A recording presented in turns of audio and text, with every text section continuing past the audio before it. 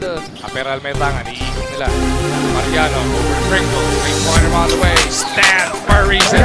Back-to-back threes by Ginebra will give him a six-point lead. He challenges that outside shot of Caperal and then he just sprints down court for their layup. Easy baskets for them. Yun ang nagiging bentahin itong Alaska. Pas ba, ikunin man yung sa katawan ni Caperal, under the leg na lang.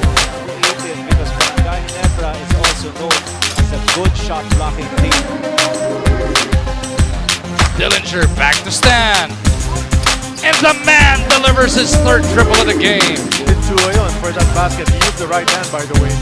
Despite the fact he's a lefty. But Stanley Pringle will keep it low, but it's not really defense. It's just utility on those shots. But not for this guy.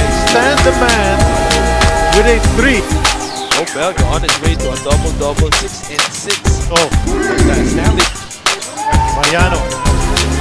Back to Pringle. He's open once more, and he makes them pay yet again. Here's Stan. He'll stop and pop from three at the second of the first period. Balik kay Stan. Somebody's got to come out. Come on, guys.